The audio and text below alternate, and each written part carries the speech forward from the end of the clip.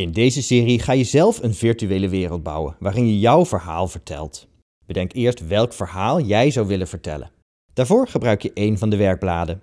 Dit kan een verhaal zijn over jou en over iets wat je beleefd hebt, maar ook het verhaal van jouw favoriete film of game. Vink aan of noteer op je werkblad welk verhaal jij wilt gaan vertellen in jouw virtuele wereld. Zet deze video even op pauze en vul het in.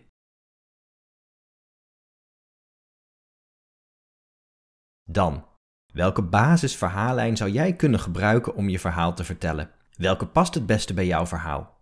Bouw je een wereld uit een boek of een game? Bedenk dan welke basisverhaallijn daarin gebruikt wordt.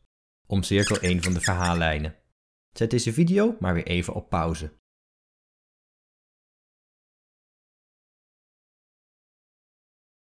Beschrijf dan in het kort wat er in het verhaal gebeurt en hoe je dat zou willen uitbeelden in jouw virtuele wereld. Bedenk ook of je het verhaal in één of twee scènes wilt gaan vertellen. Stel, ik kies het verhaal van Kuifje naar de maan, reis en terugkeer. Ik bouw één scène, de raket op de maan.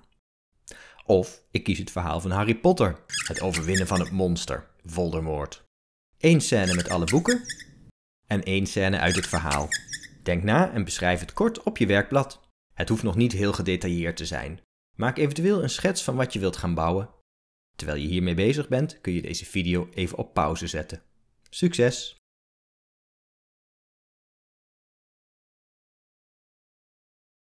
Is het gelukt? Mooi.